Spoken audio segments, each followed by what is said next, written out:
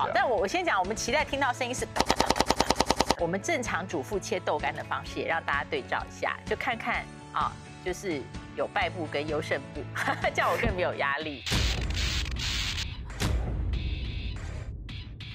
爸爸的店生意怎么样？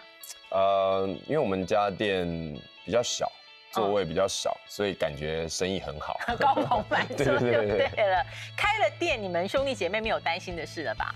我们现在爸爸有就是事做啦对对对，现在唯一担心就是我爸比较爱喝，哦，其实我要讲是疫情的时候，你们还有便当是不是支援，对对对，有支援一些医院啊，然后一些医护人员这样。其实我我爸爸跟我妈妈两个人，我们家全家人都很会做菜。然后我小时候就是一个蛮有口福的小孩，因为从我姑姑、我奶奶、我爸妈都很会做菜。对我是我真的真的是小时候看了那个日剧那个酱太的寿司，哦，看了以后我就觉得哇，当厨师好帅啊，所以才后来去就是学餐饮。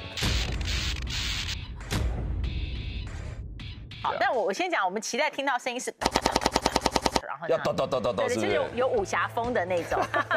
那我们后期帮我配音好。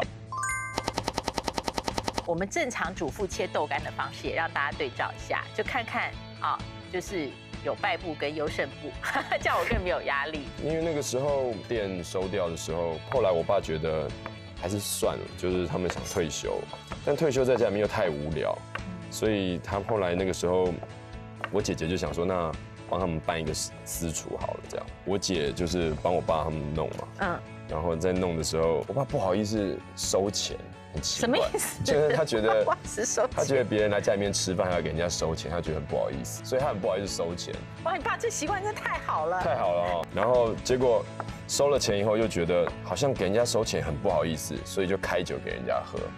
结果开的酒比人家的菜钱还贵，所以就办了两次以后，就觉得不行，不能再这样下去了。你们家感情。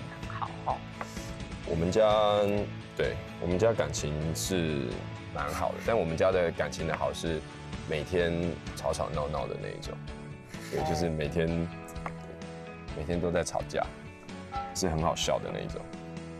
所以你在结婚的时候有没有特别去想说，哎呀，你自己的家庭，或是你你太太那边的家庭，你希望氛围是跟自己家庭比较比较接近的，这样在婚姻里比较 comfortable。我岳父母的这一边呢，跟我爸妈的关系也蛮好的，就是感觉两个家庭蛮蛮合的。但是是不一样。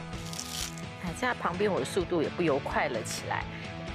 请问你这是豆干丝吗？没有啦，因为原本我要想要切，对对对，不同的因为原本我还问我爸说，哎，那我们豆干我要片片成三三分之一再切还是什么然后但是我们自己比较喜欢有一点口感，那我就现役到这边啊，大家有看到，这是我们家的豆干丝，切的 这才是没有，这才是对照。组。